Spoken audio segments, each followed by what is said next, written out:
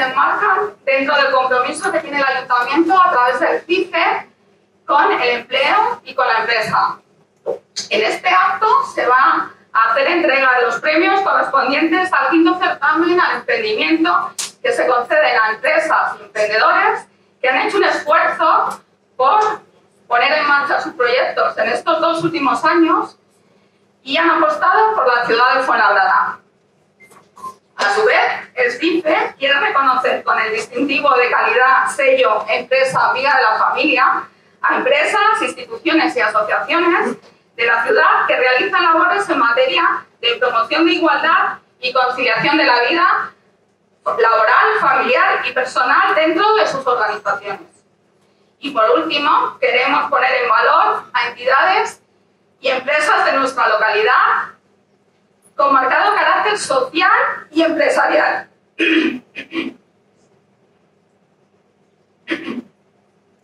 a través de menciones de buenas prácticas.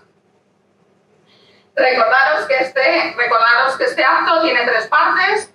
Hay una primera charla que eh, va a impartir Diego y eh, luego eh, vamos a dar los premios y por último tenemos un networking en el jardín y para que para deciros que estáis todos invitados que no os vayáis. gracias a todos por venir y vamos a dar comienzo al acto. A continuación va a intervenir doña Soledad Martín Hernández, concejala de Desarrollo Económico, Empleo, Comercio, Industria y Cooperación Exterior.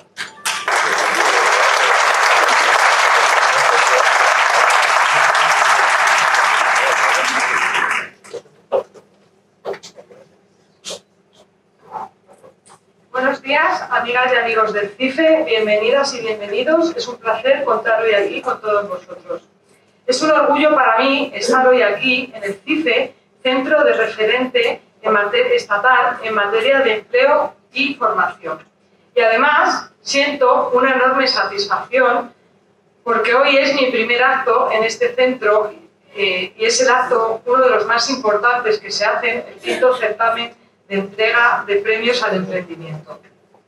Como sabéis, el objetivo es premiar e impulsar eh, los proyectos empresariales para potenciar el desarrollo económico en nuestra ciudad a través del emprendimiento, promover la cultura emprendedora en nuestro municipio y presentar el emprendimiento como una opción de inserción laboral. Hoy nuestro ayuntamiento, a través de la jornada Fuenlabrada Dinámica, concederá tres premios al emprendimiento de su certamen con una dotación de 18.000 euros. Reconocerá las menciones de buenas prácticas aquellas iniciativas sociales y empresariales en materia de innovación, sostenibilidad, diversidad, economía social, igualdad y desarrollo local.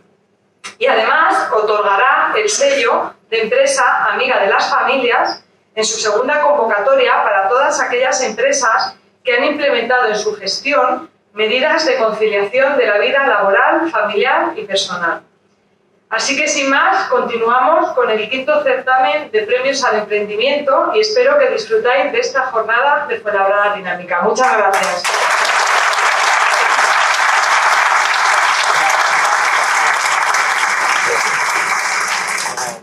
Gracias, concejala. Ahora vamos a estar muy atentos porque ya Uribe nos va a impartir una charla inspiradora sobre emprender sin complejos. Yago se define a sí mismo como un emprendedor compulsivo. Intenta tratárselo, pero no funciona. Aunque estudió telecomunicaciones y trabajó en ingeniería durante algunos años, a los 30 descubrió que había nacido emprendedor. En parte empujado por la crisis, montó su primera empresa dentro del sector del e-commerce y desde entonces no ha parado. Cuatro empresas con las que ha montado 17 proyectos de negocios diferentes, aunque su verdadera misión vital la descubrió hace solo un par de años. Ayudar al mayor número de personas posible a despertar y buscar en el emprendimiento, aunque solo sea un plan B. Hoy nos contará su historia y por qué considera que el mundo necesita emprendedores. Adelante, Yago, un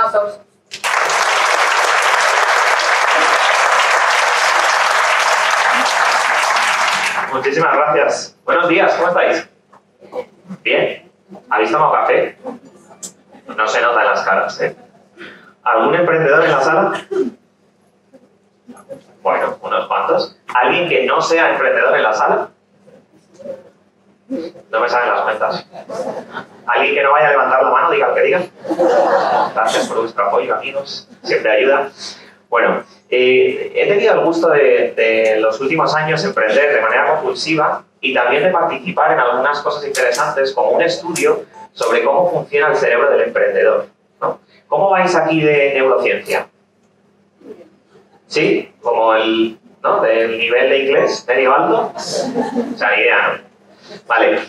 Igual es un poco espeso esto que os voy a contar ahora, pero eh, estar atentos porque hay cosas muy interesantes en este estudio de cómo funciona el cerebro de un emprendedor. Este sería el cerebro de un varón entre 25 y 35 años.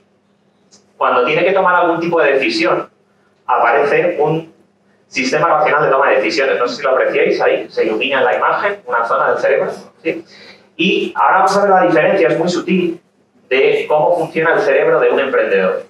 ¿Vale? ¿Veis que se ilumina una nueva área del cerebro? ¿no? Cuando aparece una especie de pensamiento disruptivo. Y ese es el que, el que motiva a ese emprendedor a, a hacer algo diferente. ¿no?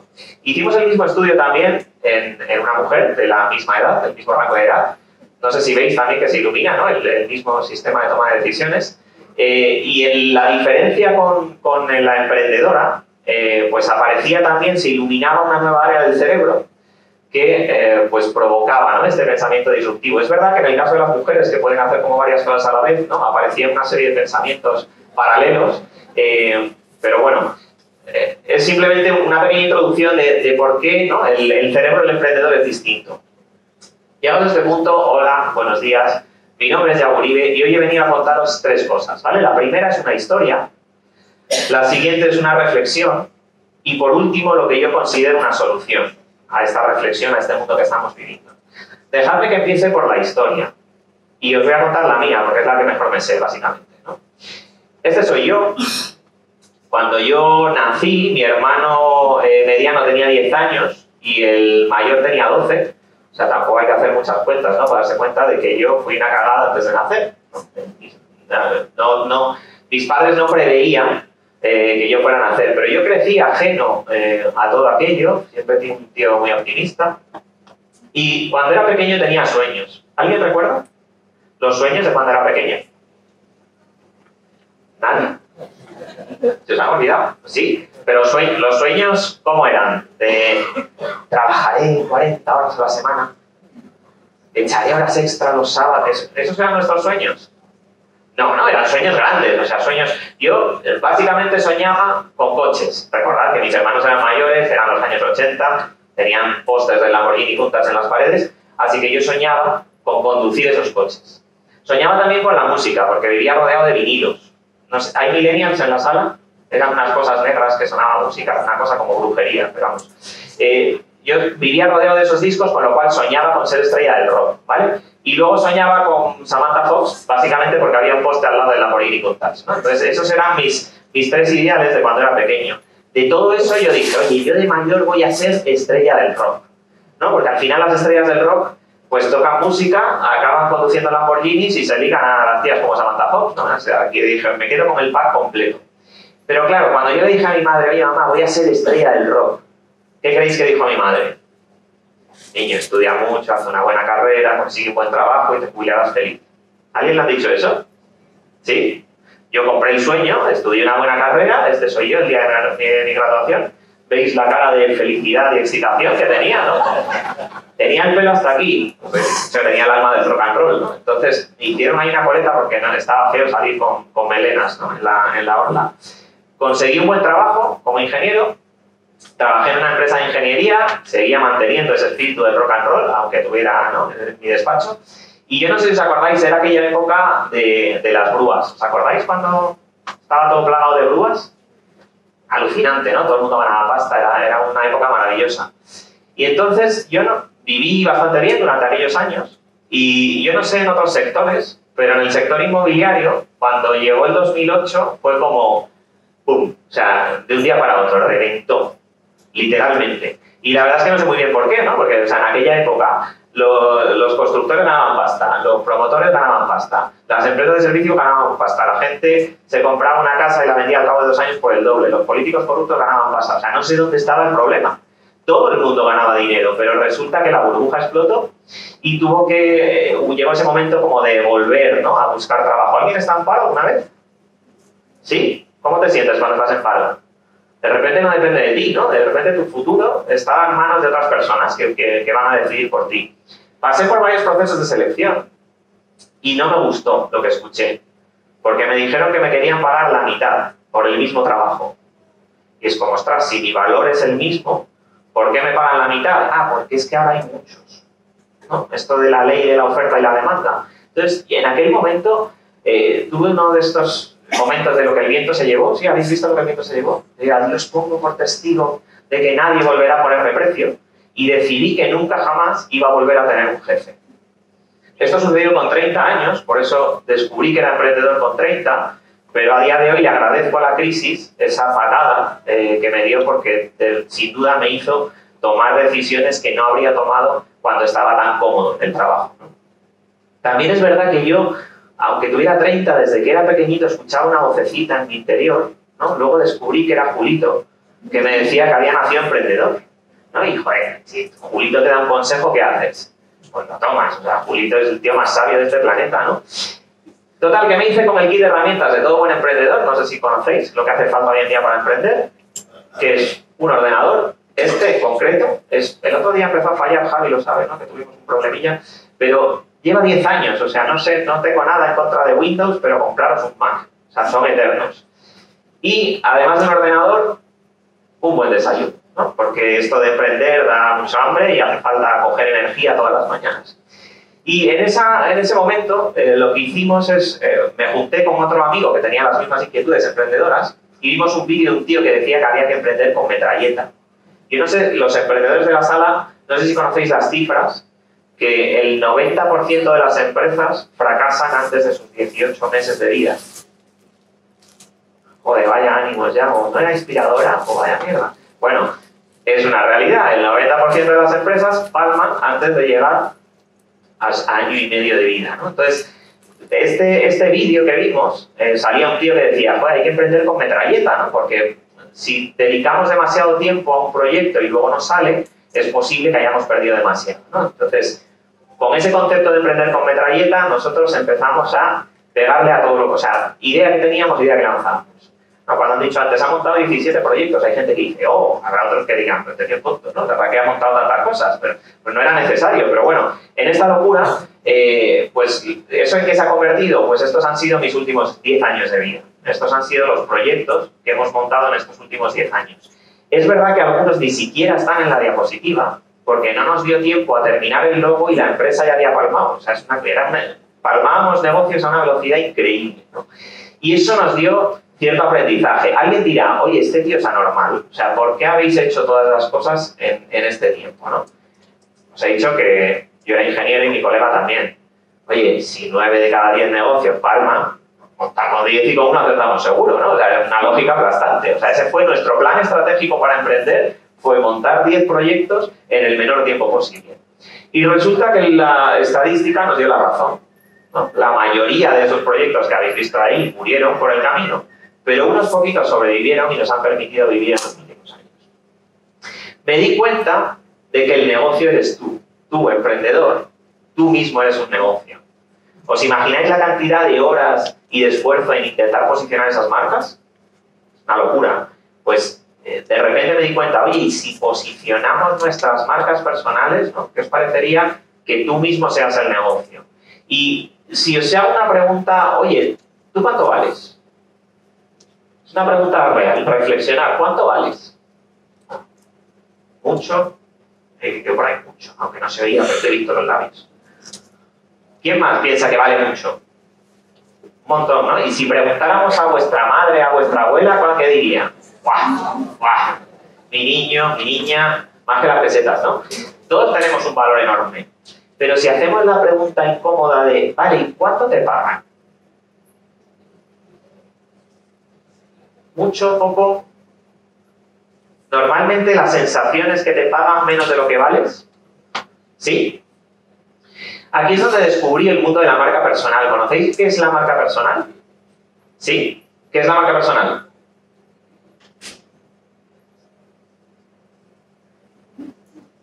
¿Hola? ¿Alguien se anima a decir que es marca personal? ¿No?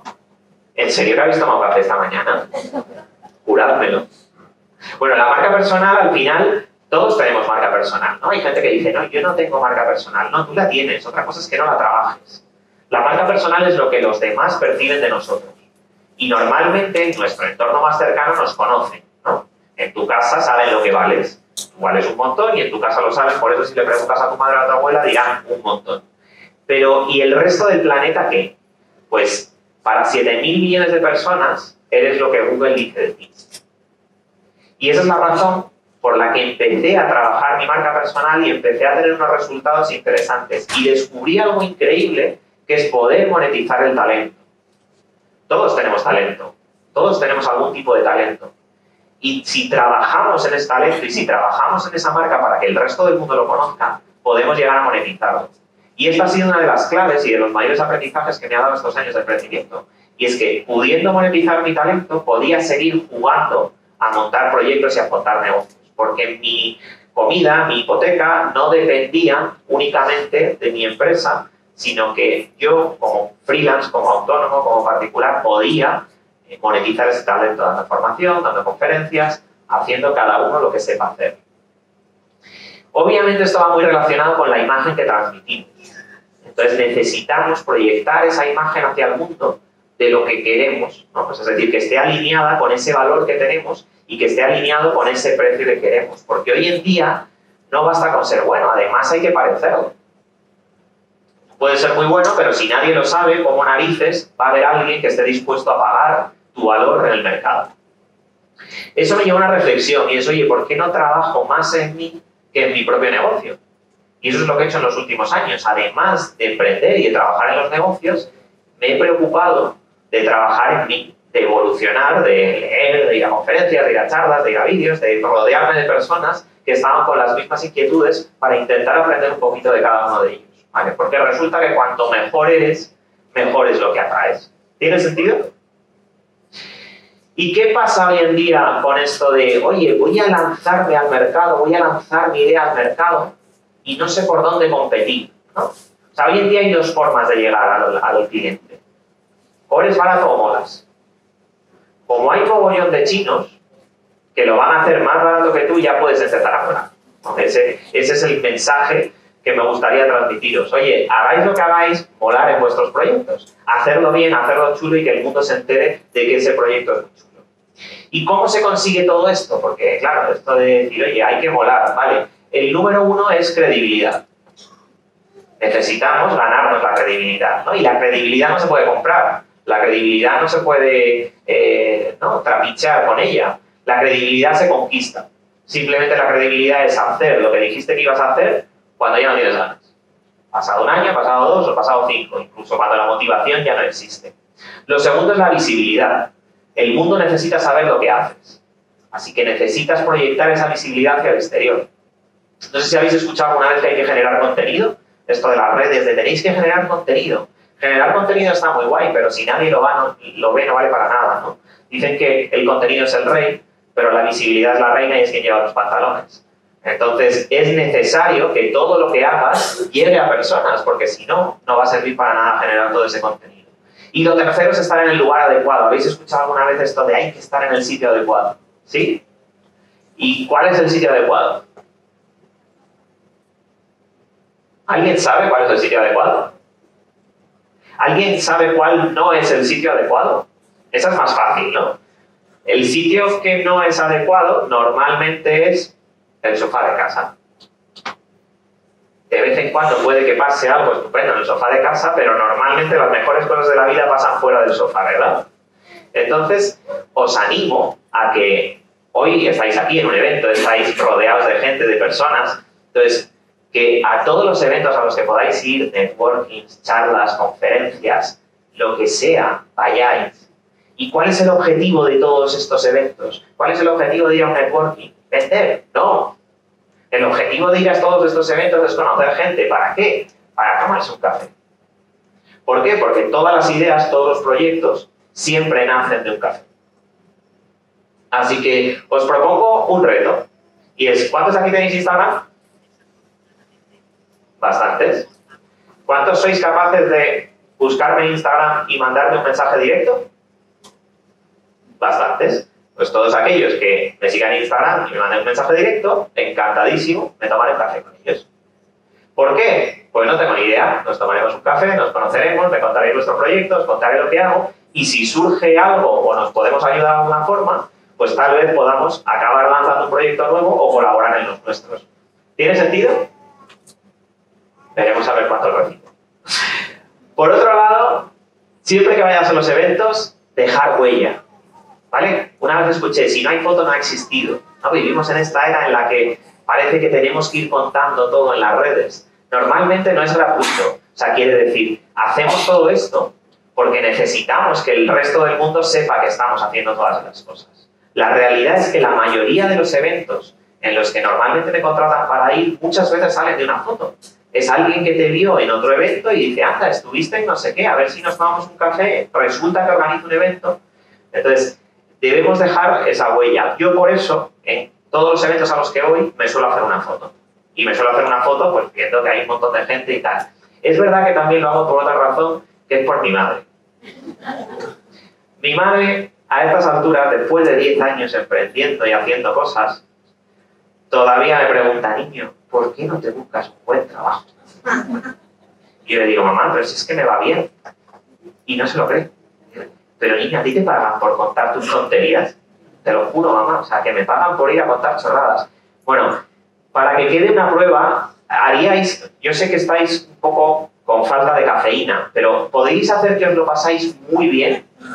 Por mi madre, o sea, es decir, voy a hacer una foto en la que salís de fondo y tal, entonces, así como una cosa de... Luego podéis colgarla en las redes, podéis poner el hashtag de la madre de Yago, ¿vale? Y así las encontramos todas. ¿Me hacéis ese favor por una madre? Podéis levantar la mano como, wow, qué bien lo pasamos, qué cosas tan interesantísimas, Yago. Muchas gracias por mi madre, ¿eh? Bueno, hasta aquí mi historia. A partir de aquí, una reflexión. ¿Vale? Si yo os pidiera que os pusierais todos en pie, ¿cómo os sentaría? ¿Sí? ¿Os podéis poner en pie, por favor? Es totalmente voluntario. Si yo dijera que el que quiera que se cambie de sitio, puede ser el sitio de al lado, puede ser a fila, es que no, no, tengo que regañar todo. Ah, vale, vale. Dejo un tiempo para por el jaleo que se está montando y tal. ¿Estáis todos ya? ¿Os habéis cambiado todos? Sí. Ya, ya, que el tiempo se nos va, chicos. Muchas gracias, os podéis sentar. ¿Quién se ha cambiado de sitio? Dos, cuatro. ¿Qué nos pasa? O sea, ¿cuál es el problema? ¿Por qué tenemos ese... ¿Qué cariño le tenéis a vuestra silla? ¿Cuánto lleváis sentados? ¿15 minutos? Era vuestro hogar, eh, tenía vuestro olor, le habéis dejado el calor del culillo. O sea, ¿qué nos pasa para que seamos incapaces de cambiarnos de asiento en un sitio que no es el habitual vuestro, ¿no? ¿Por qué le tenemos tanto miedo al cambio? Pues Realmente el miedo al cambio viene de nuestros ancestros, lo llevamos en el ADN. Eh, cuando el hombre vivía en cuevas y tenía que salir de la cueva, normalmente no era por algo bueno. Se te acabado la comida o nos tenemos que ir a otro sitio. ¿Y qué es lo que pasaba o qué es lo que podía pasar cuando salías de la cueva? Pues entre otras cosas morí ensartado por los cuernos de un mamá. Esto es historia pura y dura, lo aseguro, de documental. Entonces, ¿Qué pasa? Que tenemos ese miedo directamente en nuestro ADN. Nos cuesta cambiar. Y en general, oye, ¿qué es el miedo?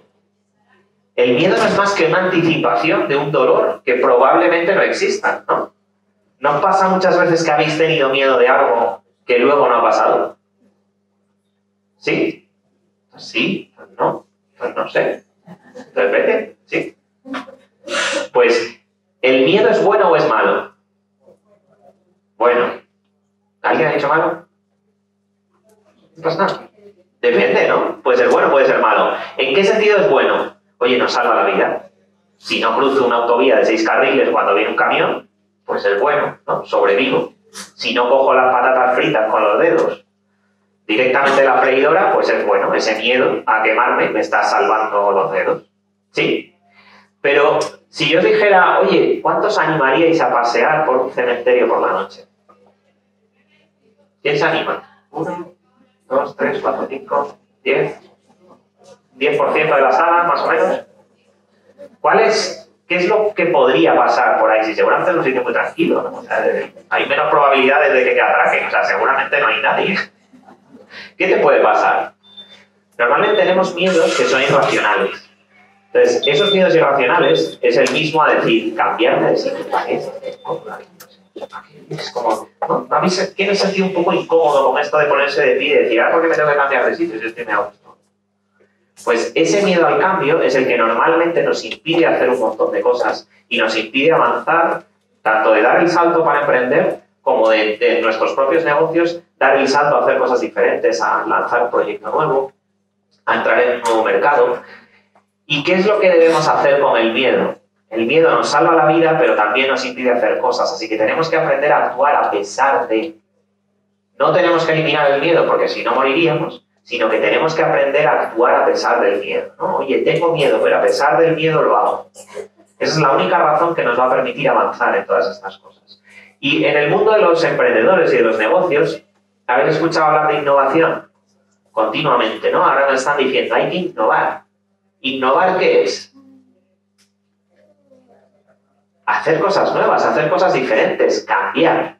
Y si tenemos ese miedo al cambio, es imposible que innovemos. ¿no? ¿Os han dicho alguna vez esto? ¿Quién ha hecho una lista de pros y contras? Pros y contras, estudiar no sé qué, pros y contras, de irme de viaje, pros y contras, de salir con Pepito. ¿no? Hacemos una lista de pros y contras.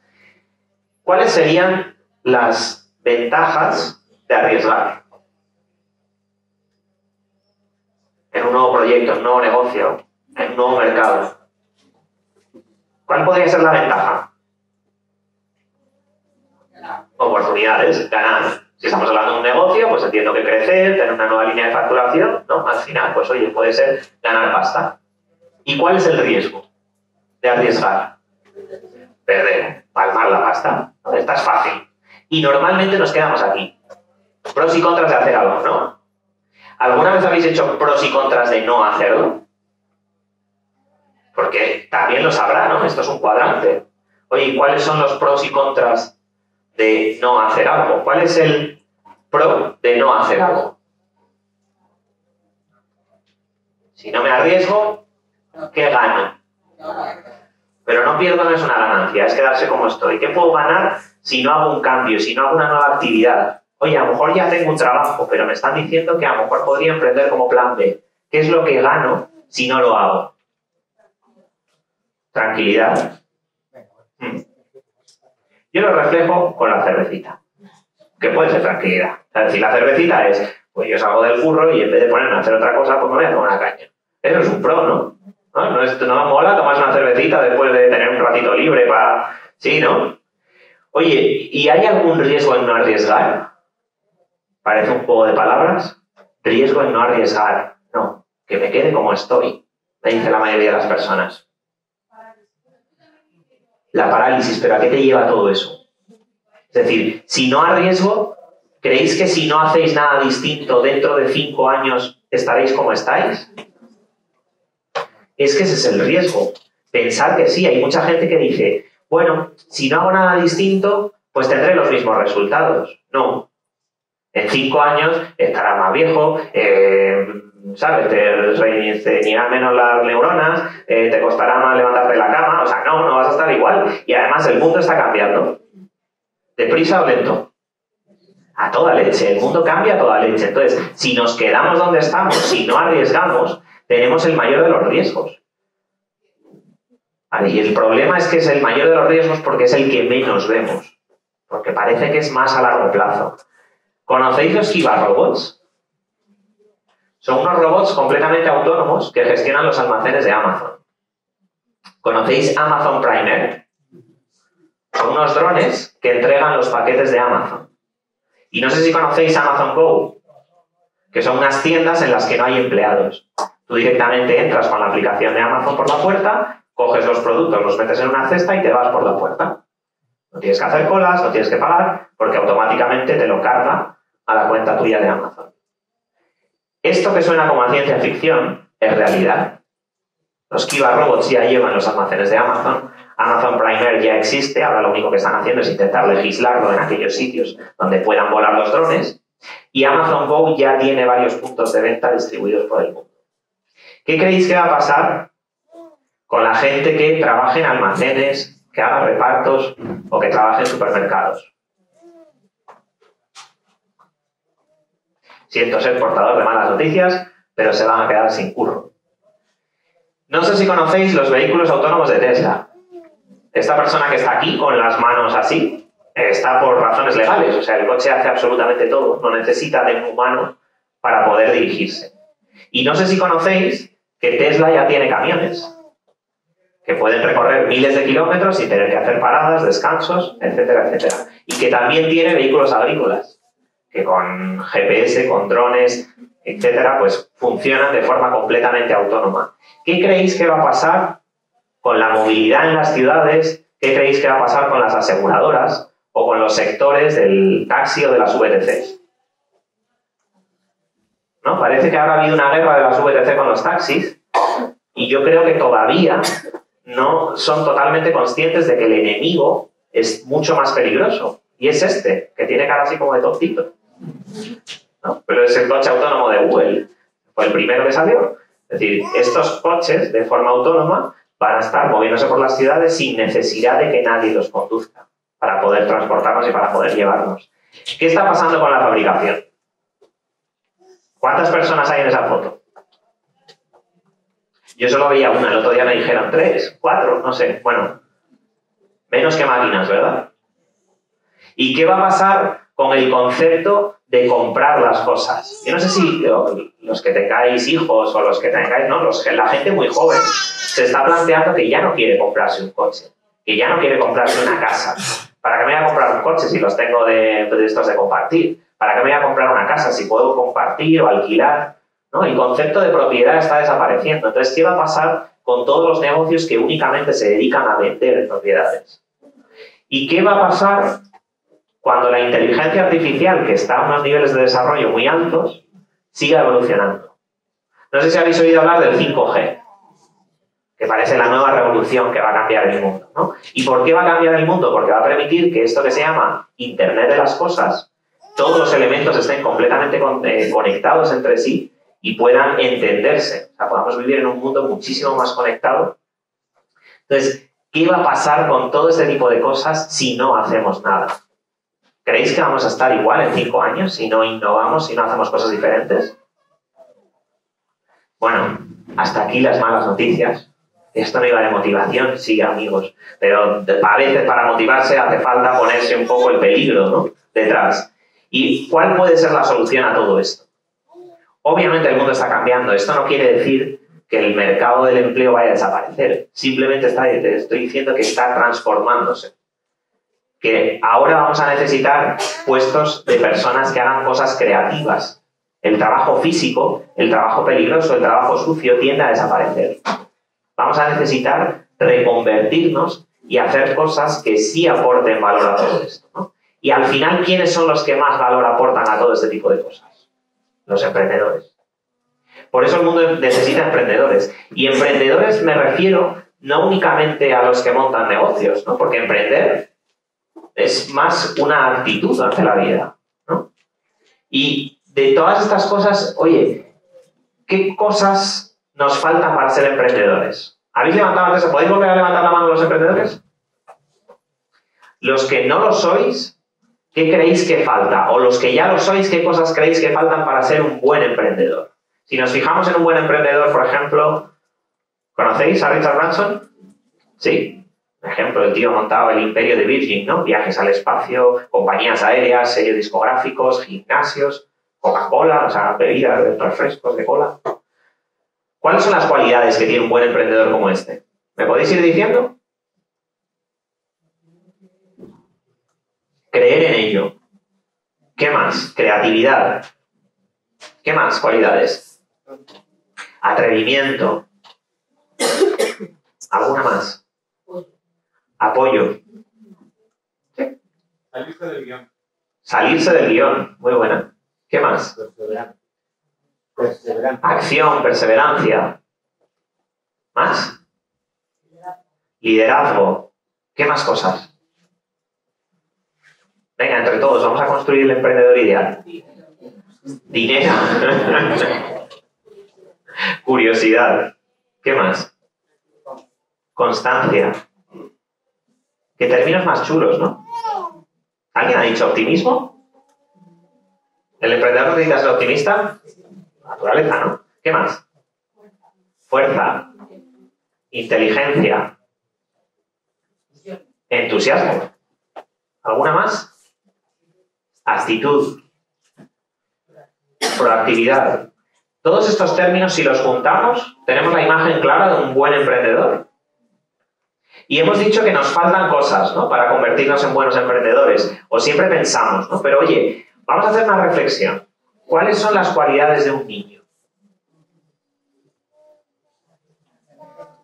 Decidme si alguna coincide con las que teníamos antes. De optimista, valiente, que se sale del guion, creativo, ¿qué más? Curioso, soñador, perseverante. ¿Veis alguna similitud entre un emprendedor y un niño? Entonces, ¿por qué narices pensamos que nos faltan un montón de cosas para ser buenos emprendedores?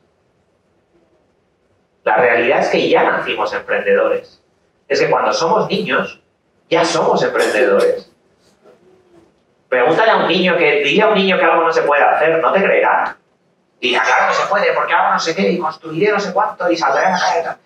O sea, ¿creéis que hay alguna barrera o alguna limitación para los niños?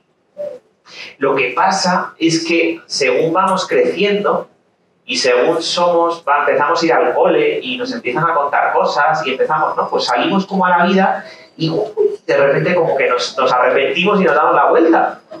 O sea, pero la realidad es que ya desde que nacimos éramos emprendedores.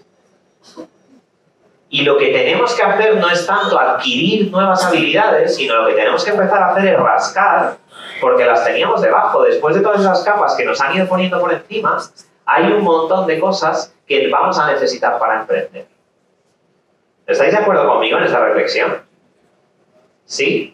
La próxima vez que digáis, es que necesito, en vez de necesito, ¿por qué no pensáis en plan oye, voy a recuperar todas estas habilidades que ya tenía cuando era niño? Porque como os decía antes, emprender no es una forma de ganarse la vida. Para mí emprender es una actitud ante la vida. Porque el emprendedor no solamente es el que monta el negocio, sino aquel que está buscando cosas. Emprender un viaje no es emprender.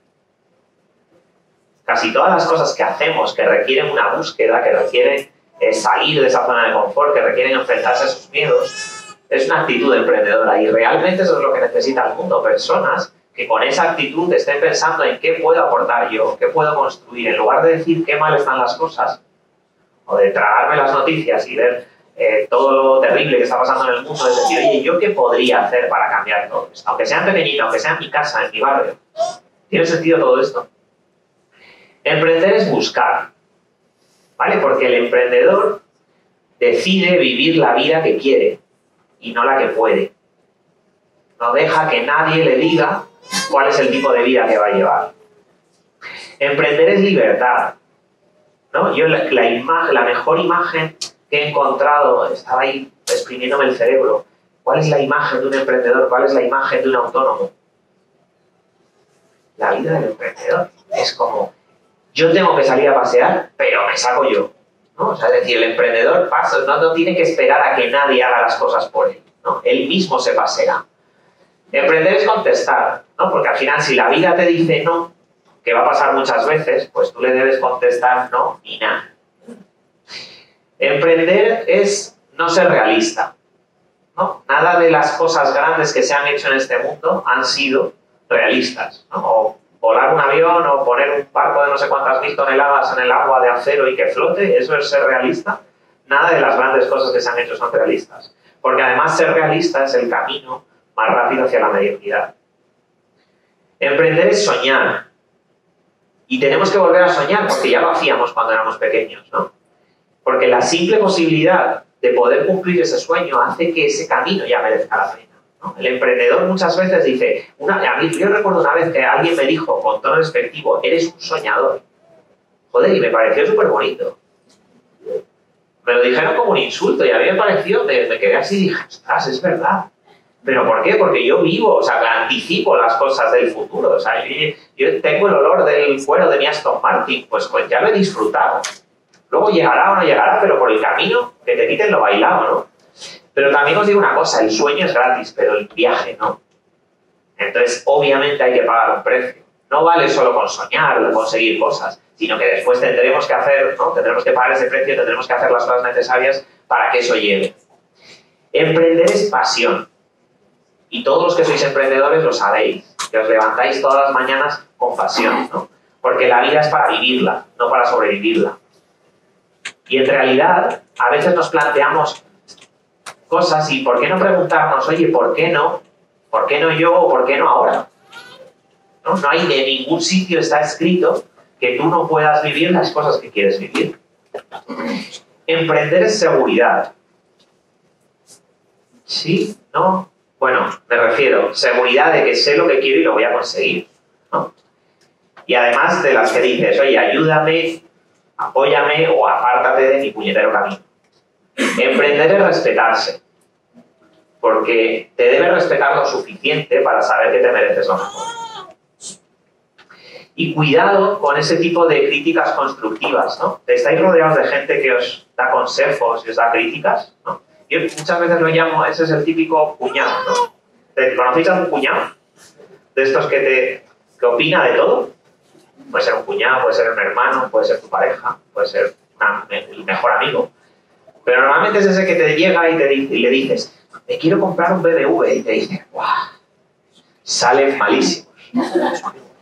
Y el desgraciado lleva 30 años con un Opel Corsa que se cae a casos. ¿no? Pero te da, se atreve a darte consejos de eso. O te da consejos del amor.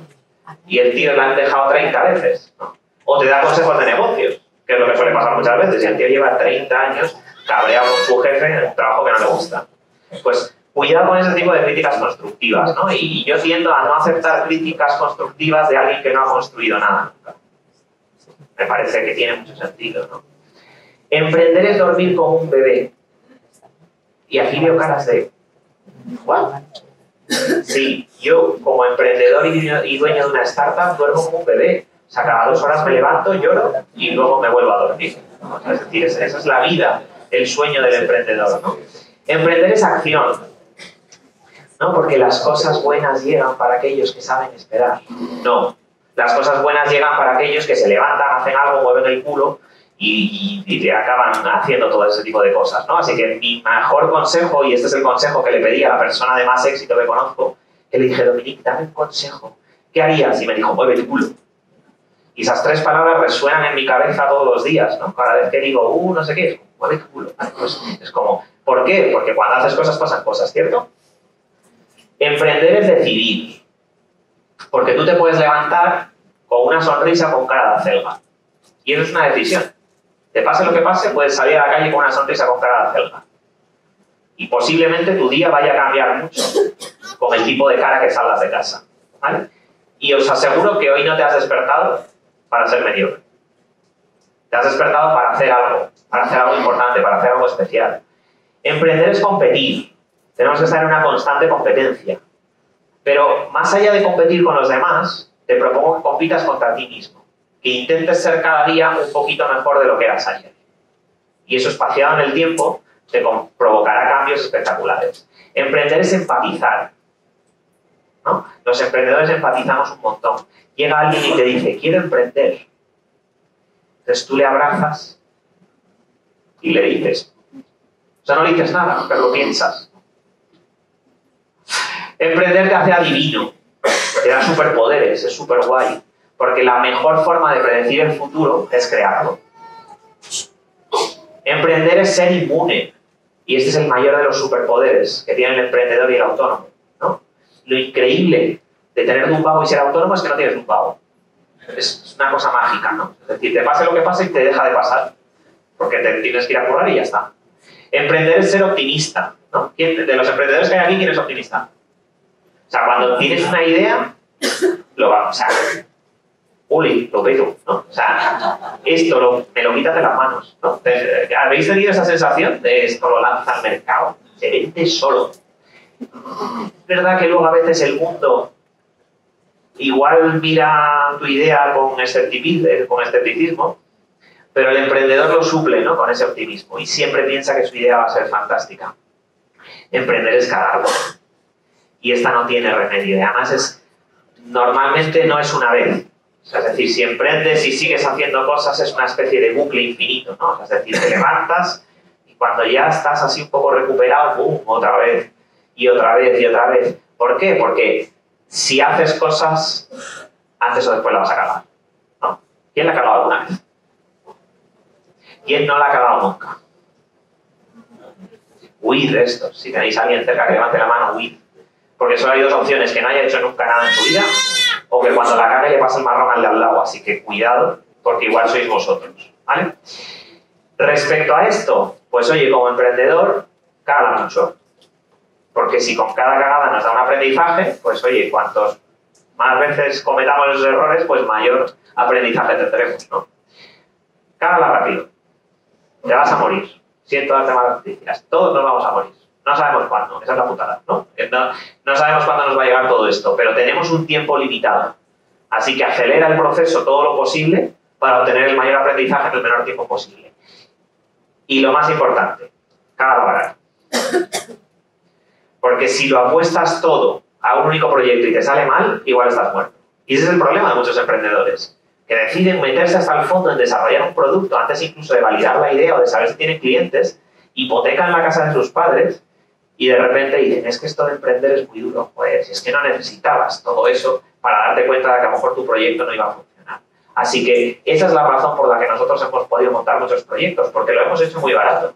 Lanzábamos prototipos, probábamos, testábamos con clientes, si algo funcionaba genial y si no cambiábamos de la idea. Emprender es persistir. Y este ha sido uno de los que ha salido antes, ¿no? cuando hemos hablado, de las habilidades del emprendedor. Y oye, ¿hasta cuándo persisto? Es que esto no tiene fecha de caducidad. Es que emprender hemos dicho que no es una forma de ganarse la vida, es un estilo de vida. Entonces, emprender hasta que el fracaso se dé por vencido, es que no tiene una fecha de caducidad. ¿Hasta cuándo vas a estar probando si tu proyecto... No, no, que no tiene fin. Porque además, cuando te das cuenta de que persistes y que pase lo que pase, te levantas, te conviertes en invencible. O sea, ¿cómo puedes derrotar a alguien que no se rinde nunca? Y algo súper importante que aprendí con todo este tiempo, he conocido muchísima gente con muchísimo más talento que yo. Muchísima. Considero que tengo poquísimos talentos. Pero he sido más pesado que ninguno de ellos. Y la mayoría de cosas que he conseguido ha sido por constancia. Y es que la constancia acaba venciendo al talento. Gota a gota acaba venciendo al que llega con muchísimo talento, pero después abandona por falta de persistencia. Si os soy sincero, emprender es duro. Los que estáis en ello ya lo sabéis, ¿verdad? Pero muy duro. O sea, es duro de... ¿Funciona el micro? Sí, ¿no? Vale. Pero emprender mola. Emprender es un camino muy divertido. Y si me permitís un consejo, para finalizar, os diría que nunca dejéis de luchar por vuestros sueños. Una moñada. Pero si lo dice Steve Jobs, mola más, ¿eh? Igual hay alguien que dice, no, me suena más como a Pablo Coelho. O igual sois más un poco de taza de Mr. Wonderful. Me da igual con quién queráis poner el mensaje, pero el mensaje, siendo muy moñas, es muy profundo. Porque volviendo al inicio de todo, al inicio de, de la historia, os decía que yo cuando era pequeño tenía sueños.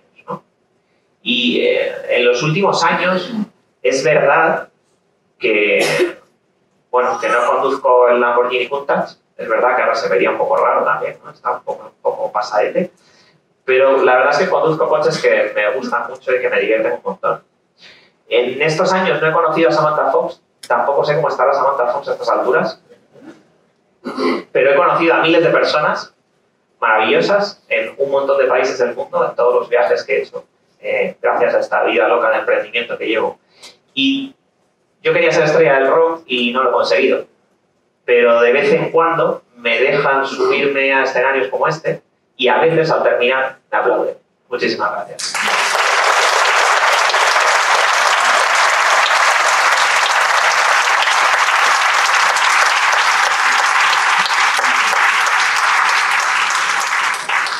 Gracias, Yago. Y os recuerdo que tenéis que enviarle un mensaje, ¿vale? Eh, a, continuación, a continuación va a intervenir el alcalde de Fuenlabrada, Fuenlabrada don Javier Ayala Ortega. Bienvenido.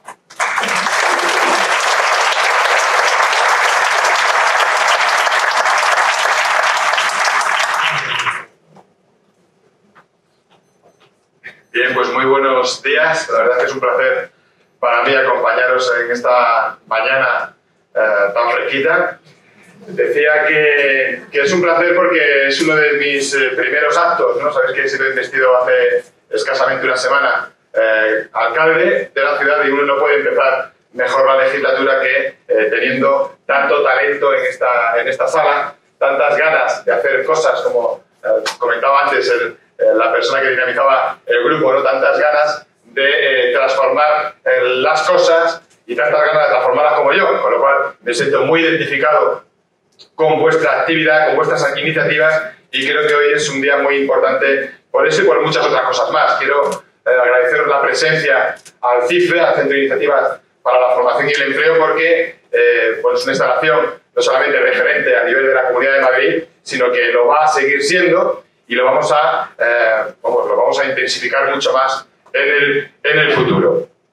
Lo vamos a intensificar porque uno de los objetivos para los próximos cuatro años va a ser precisamente que, tenéis, que tengáis un mayor protagonismo aquellos que tenéis buenas ideas, aquellos que queréis desarrollarlas y aquellos que, eh, bueno, pues con, con esta eh, humilde ayuda que significan los premios al emprendimiento, los, los premios por la grada dinámica, significan, de alguna forma, yo antes hablaba a los medios, que eh, lo que se trata hoy no solamente es de eh, premiar aquellas iniciativas que, que, ha considerado el jurado que son más interesantes, sino también compartir, creo que es muy importante que en esta sala estéis tanta gente alrededor de un mismo tema, de un mismo tema que viene a significar la apuesta que habéis hecho cada uno por vuestros proyectos. Yo, sois muchos a los que os conozco, no os podría nombrar a todos, pero si me vais a permitir que agradezca la presencia de Carlos Moore, el gerente del hospital, porque también ha confiado en nosotros, también ha confiado en la medida en que eh, bueno, pues aquellos proyectos de investigación que van a poner en marcha en el propio hospital, pues eh, van a tener eh, dentro del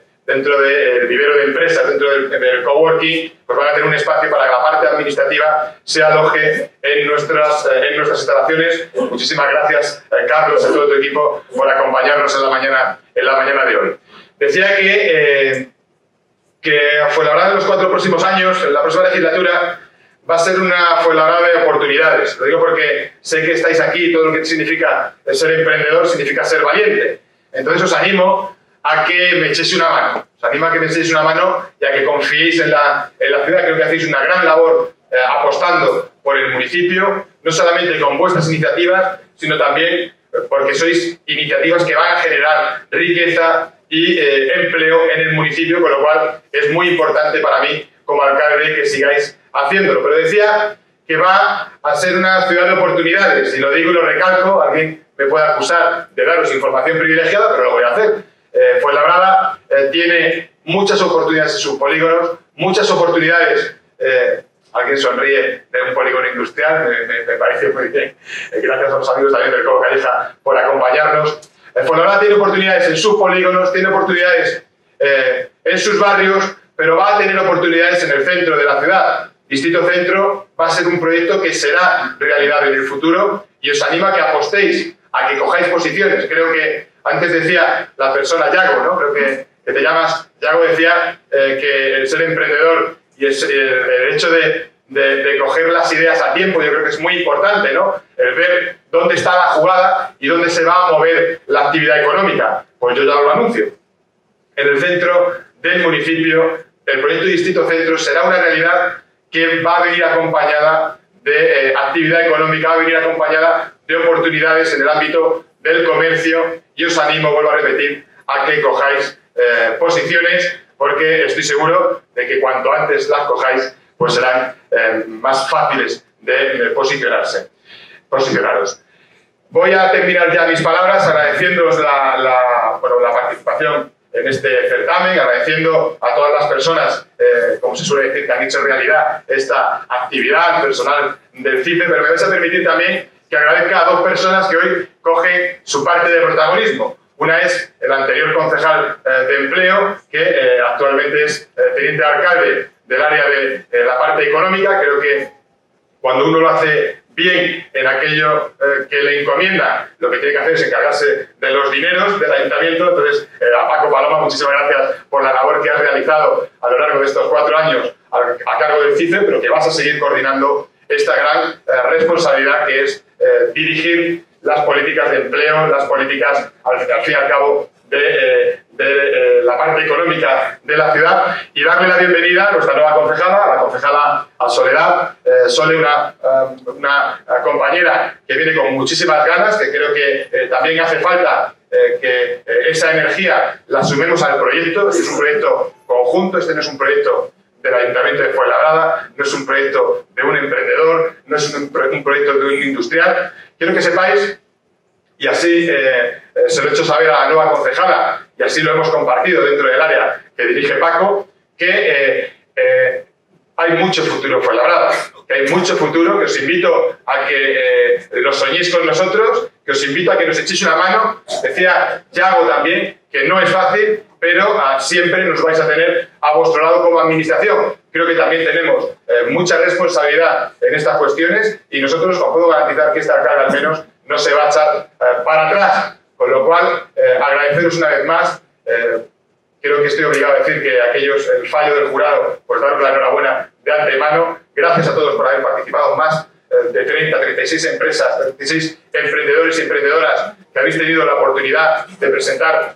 vuestro proyecto. Y no sé si me dejo algo en el tintero, porque cada vez que repaso la mirada veo a más amigas, ¿no? ahora veo a las amigas de, de la Asociación de EMA, agradecerles también eh, la presencia, así que no voy, a, no voy, a, echar más miradas a vista de pájaro porque no voy a nombrar a todos. Así que muchas gracias eh, a todos, hayáis ganado o no, porque creo que lo importante es la jornada de hoy, estar todos juntos, porque al final si sumamos energías conseguimos conquistar el futuro. No sé si esto es una cursilada, una cursilada como la última frase de Yago, no sé si esto lo dijo Yago, Steve Jobs o Javier Ayala, pero lo que está claro es que la apuesta por Fuenlabrada es firme. Muchísimas gracias y que ganen los mejores.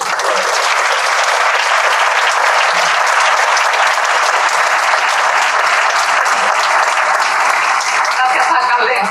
Eh, no te marches, por favor, y vamos a entregar el sello de calidad Empresa Amiga de las Familias en su segunda convocatoria antes de los premios. Eh, por favor, subid eh, al alcalde eh, Javier Ayala, la concejala Soledad Martín y el teniente alcalde Francisco Paloma. Gracias. Un aplauso.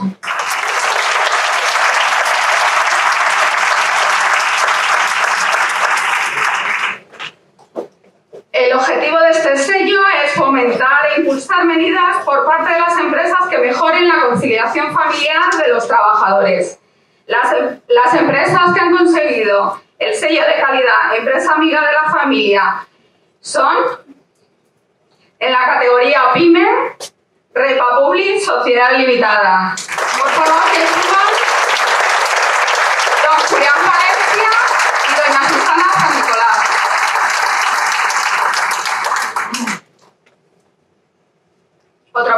aplauso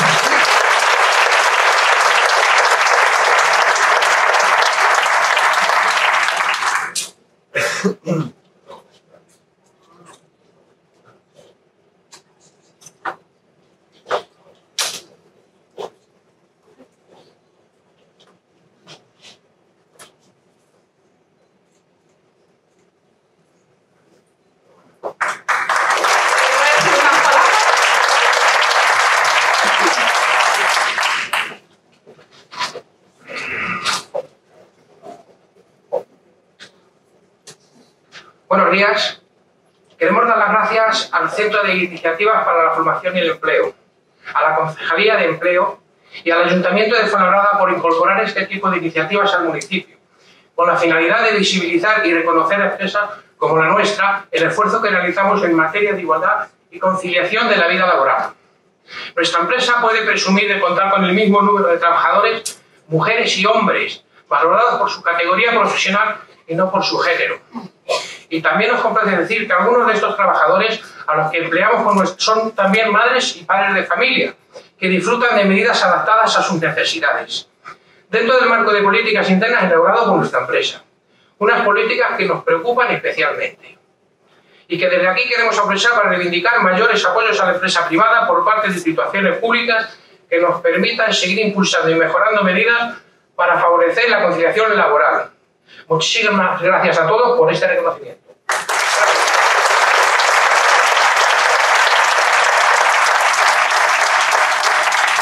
Enhorabuena, Refa Public. Eh, a continuación, la, siguiente empresa galardonada con el sello es London Education Center, Sociedad Limitada. Por favor, que suba a recoger el sello doña Ivonne Madeleine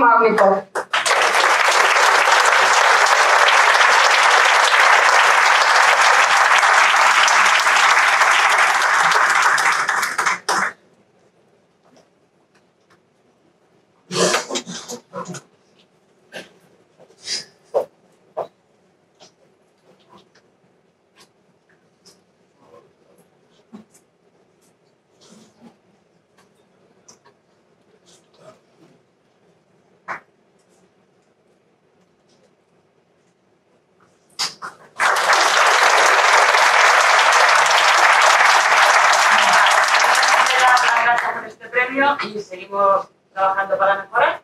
Muchas gracias.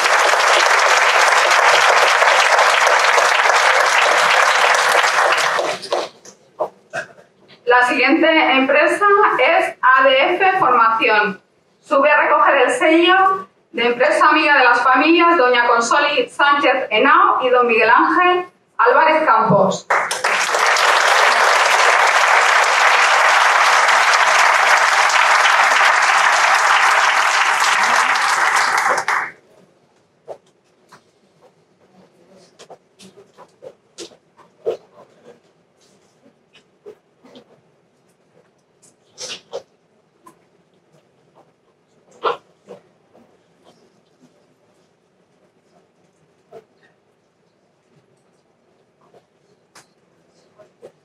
Sí, bueno, tenemos unas pequeñas palabras. Ante todo, daros las gracias a todos por la asistencia. Eh, y después de la charla, digamos, introductoria, nosotros como ADF Formación sí me gustaría hacer eh, una apuesta, una apuesta de valor eh, por el componente humano que existe y que yo creo que es absolutamente necesario en todas las empresas, ¿no? Y además me gustaría, digamos, aprovechar esta oportunidad de estar aquí sentado y, vamos, y de estar con todos vosotros para reconocer públicamente a los trabajadores que trabajan dentro de nuestra empresa todo su trabajo, su dedicación y su esfuerzo que nos ha permitido durante estos años conseguir ser la empresa que somos actualmente y sobre todo estoy seguro de que nos van a ayudar a conseguir ser la empresa que queremos ser en los próximos años. Muchas gracias.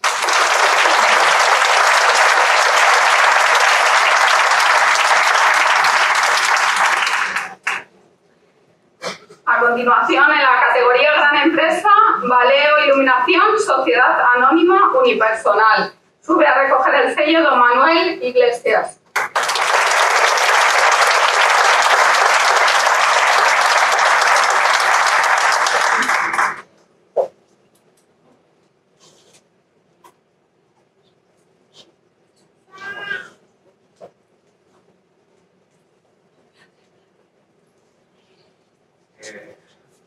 bueno, únicamente agradecer este premio al Ayuntamiento de Fuenlabrada eh, desde, desde Valeo y seguiremos trabajando para, conciliar la vida laboral familiar de todos los trabajadores. Gracias.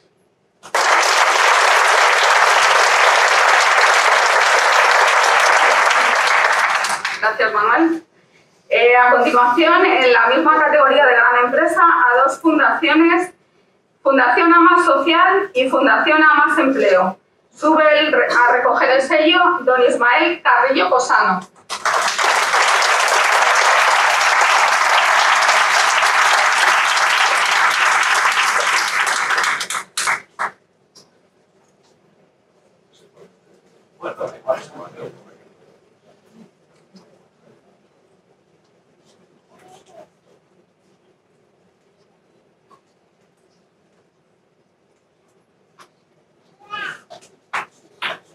Bueno, pues eh, nada, muchísimas gracias al CICE y al Ayuntamiento de, de Fuenlabrada. Nuestra fundación lleva más de 40 años trabajando en Leganés, Móstoles, eh, Alcorcón y desde hace eh, algunos menos en Fuenlabrada. Pero hay que reconocer que Fuenlabrada está eh, cogiendo el relevo de, impulsar y apoyar nuestro proyecto con una fuerza enorme porque desde que estamos aquí la verdad que hemos sido muy bien recibidos, muy bien acogidos y muy bien reconocidos yo tengo que hacerlo público porque es así. ¿no? Eh, en nuestra organización trabajan casi mil personas. Eh, Somos una organización eh, sin ánimo de lucro, pero que eh, generamos muchísimo empleo y desde nuestra vocación de apoyar a las personas con discapacidad intelectual, que es para lo que trabajamos, lógicamente no podemos hacerlo sin cuidar de los profesionales que apoyan día a día a las personas con discapacidad.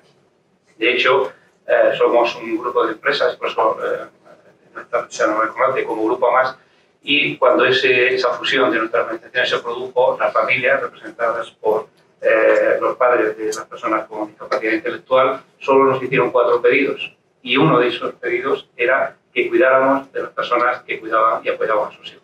Por lo tanto, nuestro compromiso es un compromiso natural, pero es un compromiso que surge de las propias familias para las familias que son los trabajadores que apoyan a las personas. Muchísimas gracias.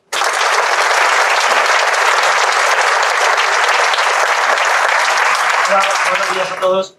Eh, de Fuenlabrada y. Y simplemente quería decir que yo tengo un hijo con discapacidad, con síndrome de Down, con 35 años, y hace 35 años, cuando mi hijo nació, Fuenlabrada no había nada. Todos los que teníamos un problema con un hijo con discapacidad, nos teníamos que ir a otros municipios, a Madrid, a otros municipios, y un grupo de padres nos juntamos y dijimos, pues aquí hay que hacer algo contactamos con el ayuntamiento desde el primer momento, desde el primer minuto, nos apoyaron, dijeron adelante, y durante estos 35 años, esa colaboración, ayuntamiento, lo que antes éramos Aspandi, que bueno, que seguimos siendo, aunque nos hemos integrado en el grupo más, de esa colaboración ha surgido que a día de hoy ya escasamente gente de colaborada se tiene que ir a otros municipios, sino que además vienen a, recibir tratamientos en nuestro centro personas de, Mo- de Riñón, de Humanes, de Moraleja, de Arroyo Molinos y de muchos municipios de los alrededores. Entonces, la conclusión que yo saco es que esa, colaboración y esos apoyos que hemos tenido mutuamente pues han dado unos muy buenos resultados. No sé si hemos sido emprendedores, pero resultados han dado desde nuestra parte el compromiso sigue, yo sé que desde el ayuntamiento también sigue y esperamos seguir colaborando para mejorar la vida de las personas con discapacidad y sus familias. Muchas gracias.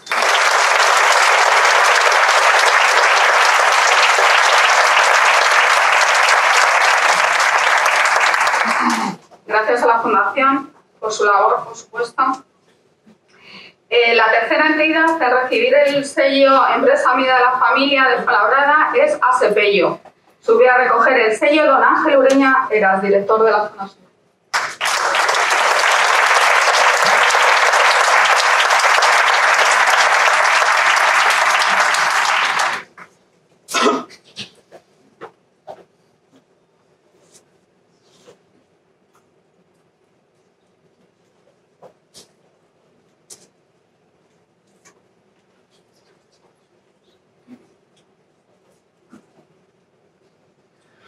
Bueno, buenos días a todos. Eh, es para mí todo un honor en nombre de Asepello el, el, el tener esta, esta distinción que nos otorga el Ayuntamiento de Fuenlabrada, eh, que nos acredita a Asepello como entidad que promueve lo que son planes de igualdad, conciliación de la vida personal, familiar y laboral, que evidentemente tan importante es para nosotros.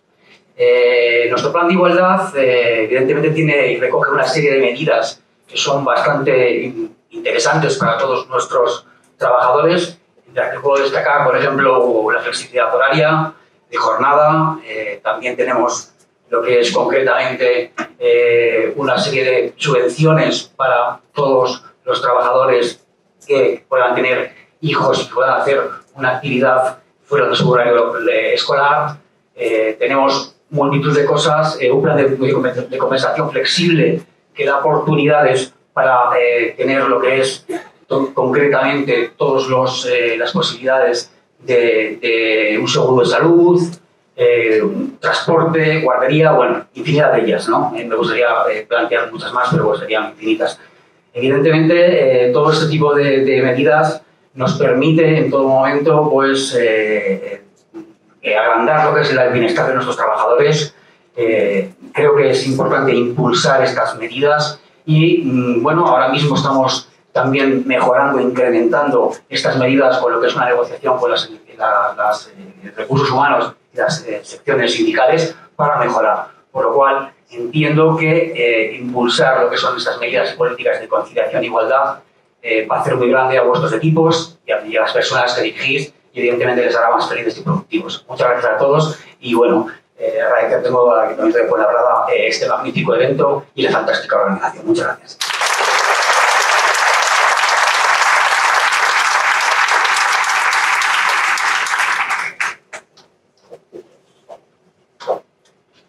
La siguiente empresa es MC Mutual. Sube a recoger el sello doña Laura Díez Cascón Soler, agente de igualdad.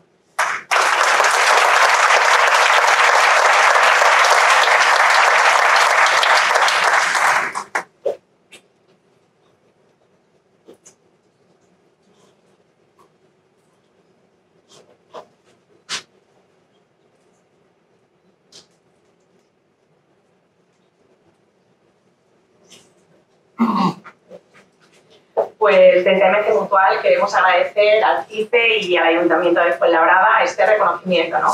Este premio avala nuestro esfuerzo y nuestro avance en políticas de conciliación y de igualdad en las que creemos firmemente como organización. Y nada, pues felicitar a la organización por fomentar este tipo de, de iniciativas y animaros desde aquí a todas las empresas a que trabajéis en esta línea porque de verdad merece la pena. Gracias.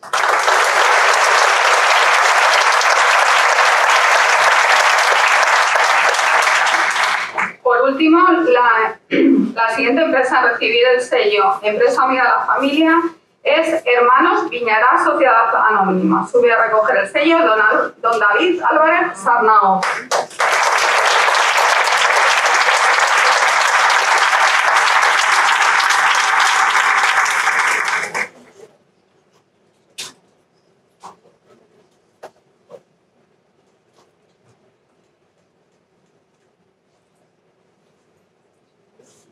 Nada, buenos días y desde Hermano Viñarás agradecer al Ayuntamiento de Colorado y al CIFE el premio.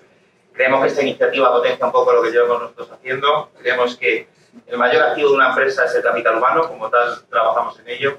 Y este tipo de reconocimientos, pues aparte de, de darnos esa, eh, esa ganas de seguir trabajando en ello y de querer hacer de la empresa una segunda familia de trabajador, pues ayudan a fomentar este tipo de políticas. Nada más, muchas.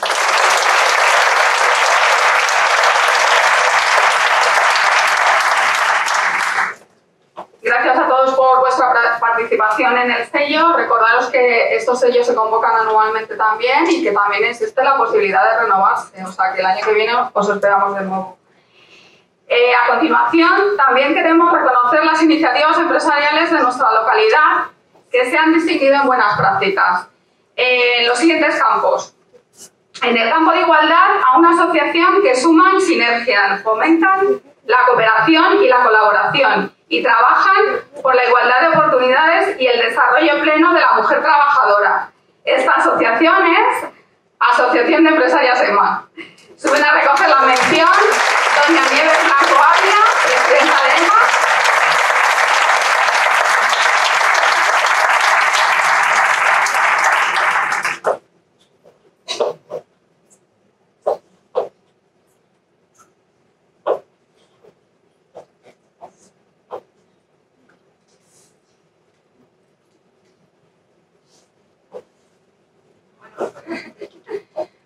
días a todos. La verdad que es un placer para mí y un orgullo como presidenta de EMA, Empresarias Asociadas, el recibir este premio.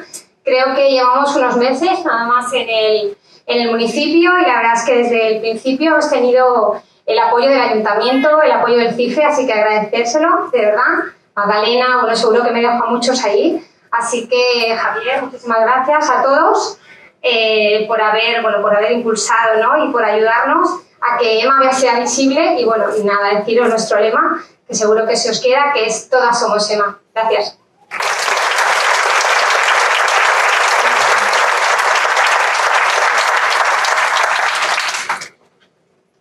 en el campo de diversidad funcional a un proyecto que responde a las demandas de las personas y sus familias, desde un modelo de apoyo diferente, más comunitario, más inclusivo y siempre bajo el paraguas de los tres aspectos fundamentales. Maximizar la inclusión, personalizar los apoyos y tener roles de ciudadanía plena. Este proyecto es Proyecto Codo con Codo del Grupo AMAS. Sube a recoger la mención doña Laura Sánchez, don César Goyo y doña Sara Serrano.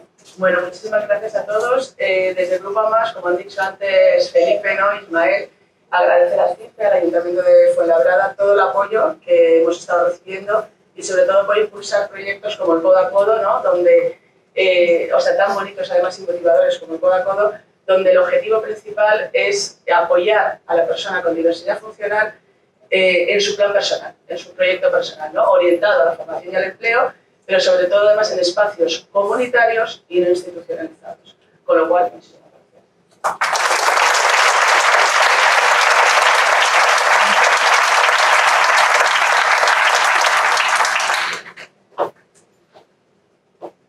A continuación, en el campo de la sostenibilidad, por el apoyo a empresas y emprendedores con iniciativas sostenibles para el medio ambiente, la mención es para Triodos Bank, Suben a recoger la mención don Miguel Brujas y don Pablo de la Ron.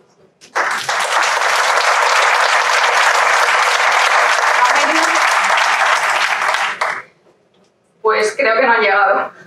Se lo guardamos y se lo, se lo enviamos. Pasamos al siguiente campo, que es el campo de la economía social. Por potenciar la actividad profesional, impulsar la formación y el asesoramiento y reconocer a los autónomos como claves en el desarrollo de la economía social de nuestro municipio, la mención es para ANTAS, Asociación Madrileña de Trabajadores Autónomos. Sube a recoger la mención don César García Arnau.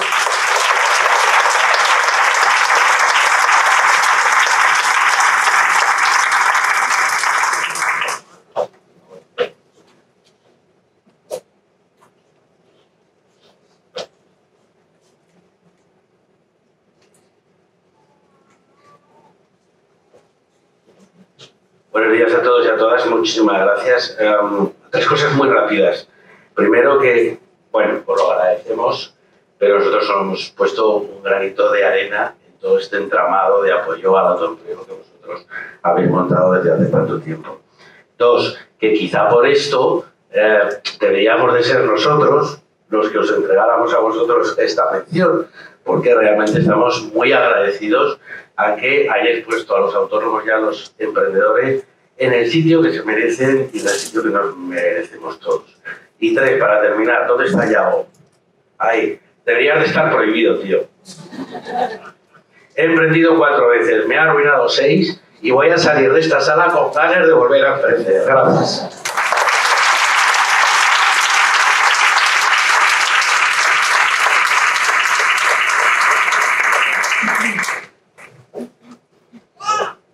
Gracias, César.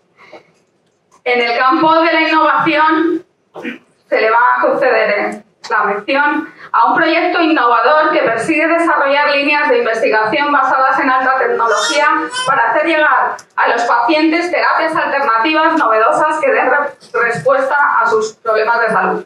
Este proyecto es Proyecto de Bioincubadoras Hospital Universitario de Fuenlabrada. Sube a recoger la mención don Carlos Moore, director gerente del hospital, y don Ángel Cuello, director de investigación del Hospital de Fuenlabrada.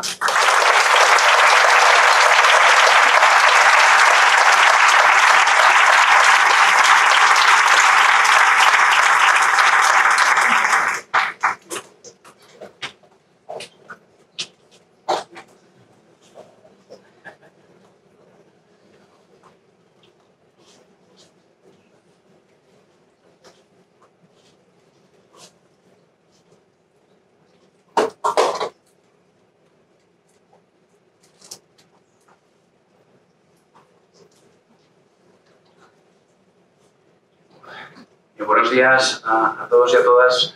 Muchísimas gracias por, por, este premio a la innovación. Ante todo, por supuesto, al Ayuntamiento de Fuenlabrada, personificado en don Javier Ayala, pero también en Francisco Paloma y en Soledad Martín, quienes desde el principio han apoyado mucho de una forma totalmente dinámica y desinteresada el proyecto de investigación que estamos desarrollando en el Hospital Universitario. Gracias también al CIFE, en concreto a Margarita López Cerrador, porque también vieron desde aquí cómo el vivero podría ser un lugar muy indicado para incluir la parte administrativa de un proyecto translacional que evidentemente tiene muchos beneficios, pero también tiene muchas complejidades. Básicamente, por resumirlo en dos líneas, de lo que se trata es de corresponder a la ciudad de Fuenlabrada con aquel tejido tan dinámico, tan innovador y tan translacional en muchos casos de un proyecto de investigación que básicamente va a consistir en traer grupos de investigación en terapia génica, en terapia regenerativa, y en biología molecular para dar respuesta a los mayores desafíos que la medicina tiene en estos momentos. La ventaja es que, evidentemente, los pacientes que atendemos en nuestro hospital van a ser los primeros beneficiados de cada descubrimiento que se vaya haciendo. Estamos muy agradecidos a, la respuesta que siempre hemos encontrado en el rico tejido asociativo dinámico de la ciudad de Fuenlabrada. Hoy es una prueba evidente de que estamos ante una sociedad viva y emprendedora. No dejéis nunca de emprender y yo tampoco me resisto en terminar mis breves palabras con una moñada. La vida pertenece a aquellos que creen en la belleza de sus sueños. Nunca dejes de soñar. Muchísimas gracias.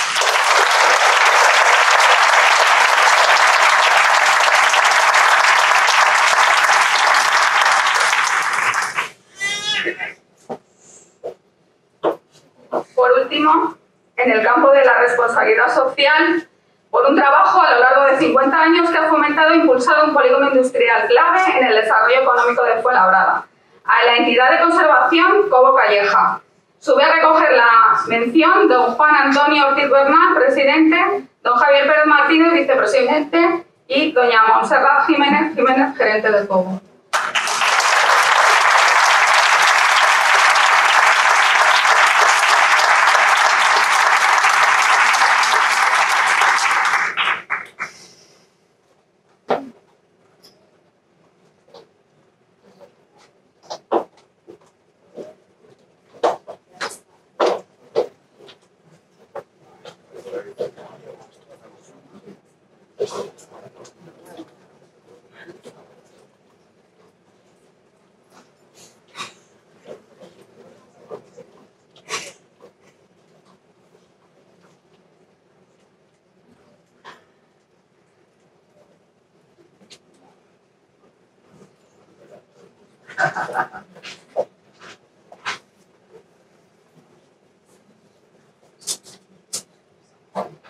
Buenos días a todos. Mi saludo más cordial a todos los miembros del CIFE, a nuestro alcalde y nuestra nueva concejala de empleo. También de, felicitar a Magdalena, a, Francisco Paloma y sobre todo a nuestra concejala Ana de Industria que, que con nosotros tan cercana siempre.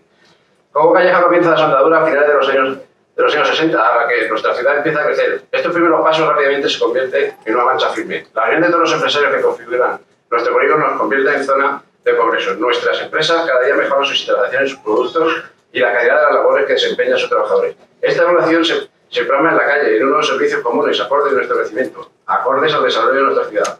Cobo Calleja está orgulloso de ser uno de los motores de esta ciudad y, y extiende la mano para conseguir que Fuenlabrada siga progresando y continúe siendo la gran ciudad que queremos. Gracias por vuestro conocimiento, seguimos trabajando en esta labor que tanto nos apasiona. Muchas gracias a todos y si no parecéis como Callaca, ahí os esperamos.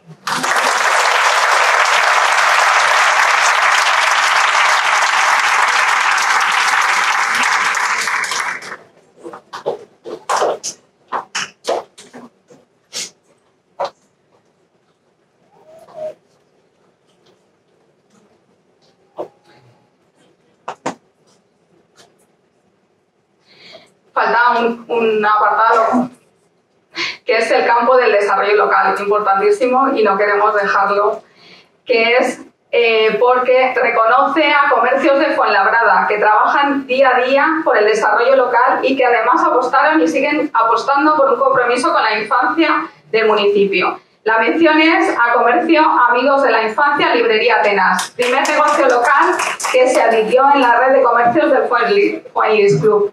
Sube a recoge la mención don Emilio Vázquez López.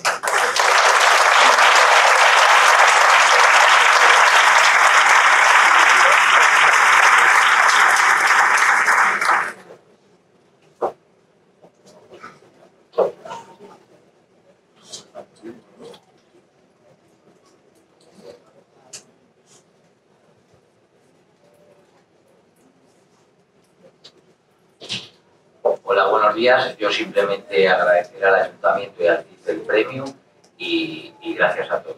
Nada más. Muchas gracias.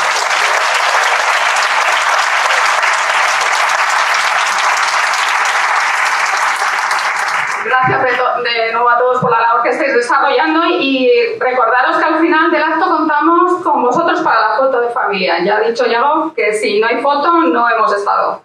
No os vayáis. Eh, vamos a tomar un momento de asiento de nuevo, alcalde, concejales, para eh, visualizar el vídeo, eh, porque vamos a empezar a, dar los premios al emprendimiento.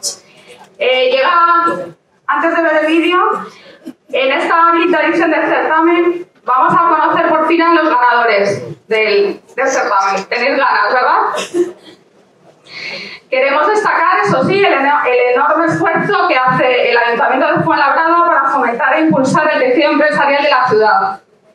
No solo con estos premios anuales, cuyo montante asciende a, en este año a 18.000 euros, sino por la convocatoria de ayudas que se inició este año pasado con un presupuesto de 100.000 euros y que está previsto que este año se incremente, con lo que estad atentos. También queremos animaros a todos los emprendedores de la ciudad a participar en todas las iniciativas que proponemos desde el CIFRE, porque tenemos a vuestra disposición información, redes colaborativas, espacios, despachos y coworking, que ya algunos conocéis, networking y muchas otras herramientas fundamentales para acompañaros en el camino del emprendimiento. Estamos a vuestra disposición, ya lo sabéis.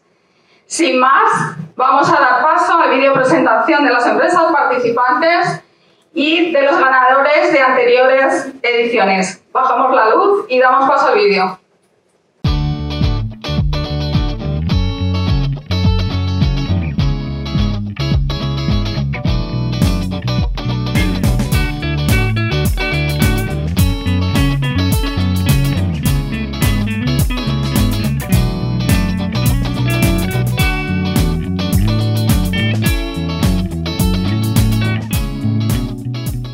Premio ha significado muchísimo para nosotros, no solo por la cuantía económica, que es bastante importante, sino por el prestigio que nos ha dado, que nos ha abierto muchas puertas durante estos últimos años. A día de hoy hemos crecido en plantilla, somos 7 los trabajadores, 9 máquinas de impresión y un valor de maquinaria actual cerca de los 450.000 euros. Eh, ganar el premio es un reconocimiento a, a todo lo que llevas trabajando, todo lo que, lo que vas haciendo, el dedicarte a algo tan bonito y que te gusta y que a su vez tenga eh, un reconocimiento personal directo eh, y, y el poder pues, dar a conocer eh, tu actividad, a lo que te estás dedicando. Luego la dotación económica, por supuesto, es súper importante porque hablamos de una cantidad muy importante que permite eh, poder mejorar las instalaciones. Hemos podido cambiar todo el sistema de calefacción, aire acondicionado. Tenemos unas salas de integración sensorial para trabajar con niños con diversidad funcional que hemos podido también incluir nuevos medios tecnológicos.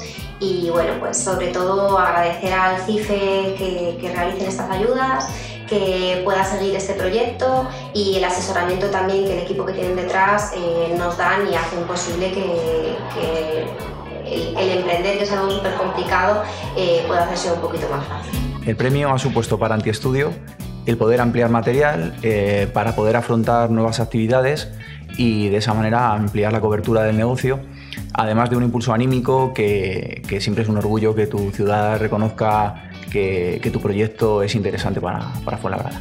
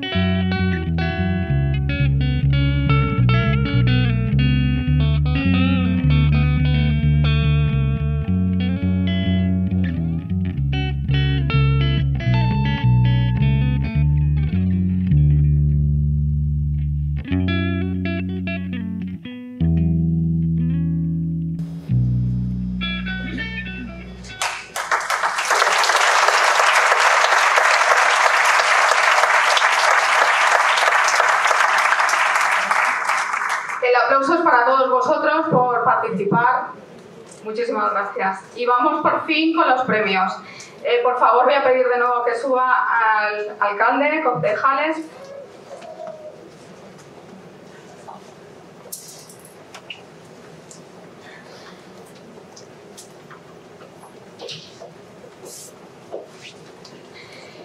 El tercer premio, dotado con 3.000 euros, es para un proyecto cuya promotora ofrece un servicio que satisface necesidades culturales y de ocio, compaginando con técnicas de apoyo psicosocial a mayores y técnicas de resolución de conflictos en jóvenes y niños. Utiliza el arte como forma de desarrollo creativo y terapia ocupacional. Tiene una clara evidencia por potenciar el desarrollo local, reflejándose en su participación voluntaria en asociaciones culturales de la localidad así como en la organización y montaje de concursos de pintura para niños y mayores en las asociaciones de pinturas del municipio. Otra de sus líneas de negocio es la exposición y venta de obras que realiza como artista, combinadas con talleres y cursos de distintas disciplinas. La ganadora del tercer premio es Soledad Barrús Delgado. Estudio de Arte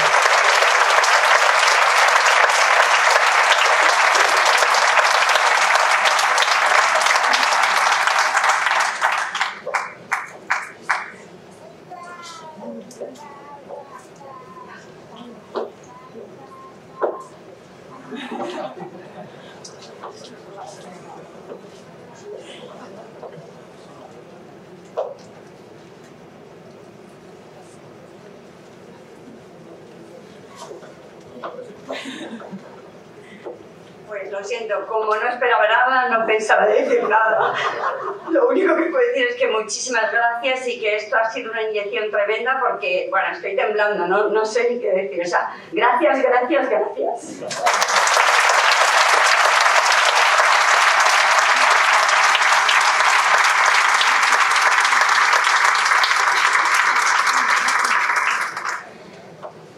El segundo premio, dotado con 5.000 euros, es para una empresa cuya voluntad es tratar de demostrar que la pequeña y mediana empresa también puede formar parte del cambio. Analizando la competencia, ha descubierto un hueco que les permite posicionarse mejor en el mercado. La, idea es revolucionar la publicidad desde dentro, al sustituir papeles, plásticos convencionales y estufos por papeles reciclados, a la vez que en todo el proceso de impresión consumen solo agua reutilizada. Cabe destacar que la empresa, como sociedad limitada laboral, forma parte de la economía social de tal forma que ponen en valor el papel de los trabajadores como dueños del capital de la empresa. Cuentan con diversas líneas de negocio, servicios de arte gráfica, diseño gráfico y servicios integrales de publicidad. La ganadora del segundo premio es Trafa Creando, Sociedad Limitada Laboral. Trazado.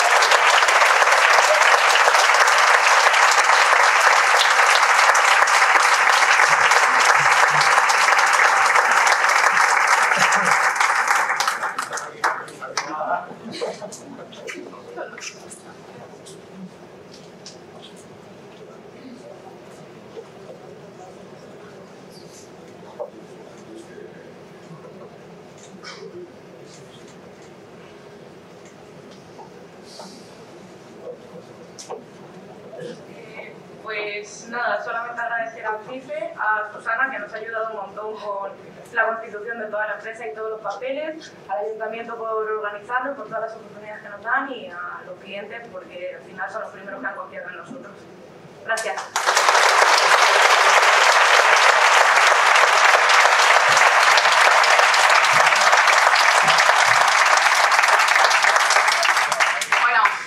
Llega el gran momento, el primer premio. El primer premio, dotado con 10.000 euros, es para una empresa constituida a finales de 2017. A, a pesar de la juventud de sus integrantes, estos cuentan en su currículum con más de 10 años de experiencia en el sector. Con una, una trayectoria de casi dos años han alcanzado un alto grado de crecimiento y consolidación empresarial. El enfoque principal de la empresa consiste en combinar los conocimientos del cliente con sus competencias técnicas y su exper- experiencia para así garantizar el éxito del proyecto. Actualmente cuentan con ocho trabajadores en plantilla, además de colaboradores externos a nivel nacional e internacional.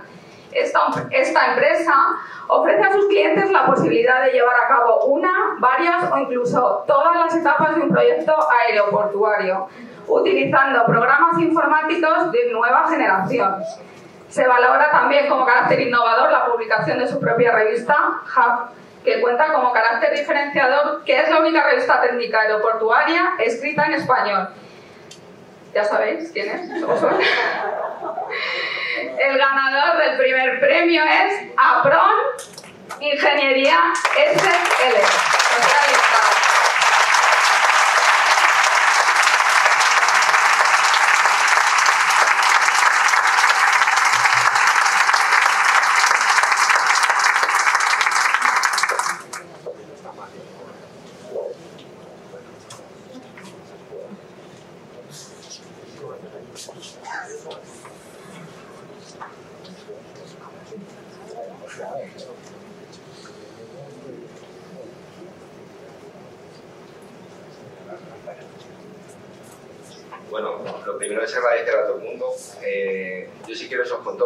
Historia de la relación con el CIFE. Yo hace dos, no hace dos años, hace un poco menos, eh, vine aquí a apuntarme al paro. Eh, por hablar, yo soy por hablar de toda la vida, el paro estaba aquí siempre, pedí cita y no miré la dirección y vine al.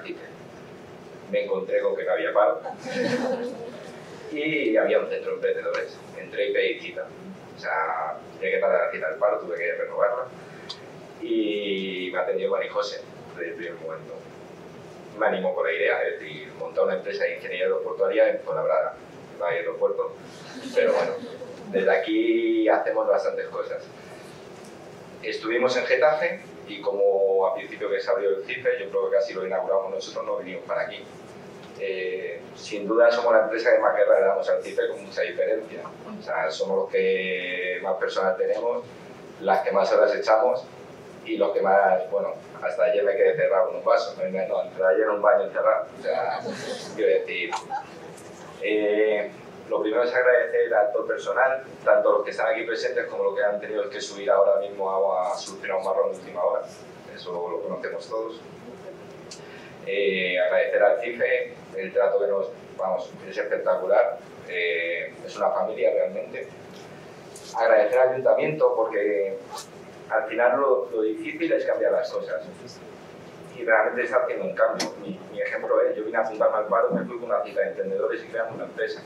Entonces, realmente el ayuntamiento está aportando, yo soy de aquí, es decir, yo sé, conozco el ayuntamiento hace, por de hace 30 años, a por ahora, y el cambio es bestial, pero bestial. Ahora nosotros de aquí intentamos poner nuestro granito de arena haciendo los proyectos en Ruanda, en Doha y saliendo desde aquí de Colabrada y seguiremos creciendo. No sé si seguiremos robando espacio al CIFE, todo lo que podamos. Y, y mejor que Colabrada, que al final es una. Colabrada al final es la que realmente está emprendiendo y la que está cambiando las cosas.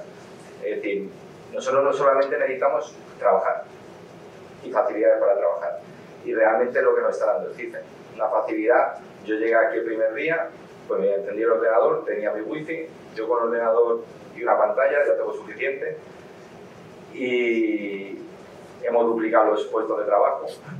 Bueno, ocho ya somos, somos ocho puestos de los tres de primera y todos son facilidades. Entonces, muchísimas gracias al CIFE, lo primero porque son los que más relación tenemos, al ayuntamiento porque es increíble lo que estáis haciendo y bueno, a mi gente que está por aquí, los que no están, pues una pena, pero muchísimas gracias a todos, de verdad.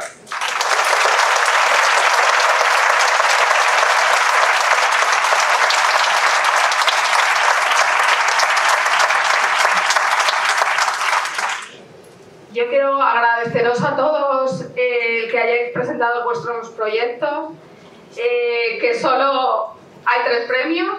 Esperamos que oh, eh, pues, el año que viene va a haber más premios, que ojalá que hubiese para todos. Se tiene que elegir, pero no os desaniméis, presentar de nuevo vuestros proyectos porque eh, los valoramos, como veis, muchísimo.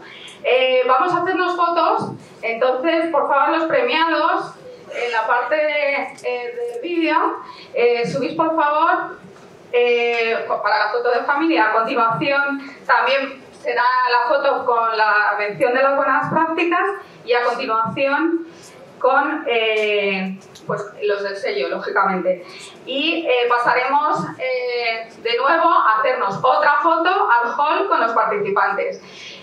Recordaros que tenemos un aperitivo en el jardín que lo han elaborado los alumnos del curso del proyecto Vulcano de, de, Camarero y Bar.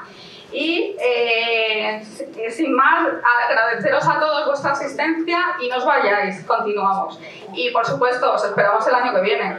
Gracias.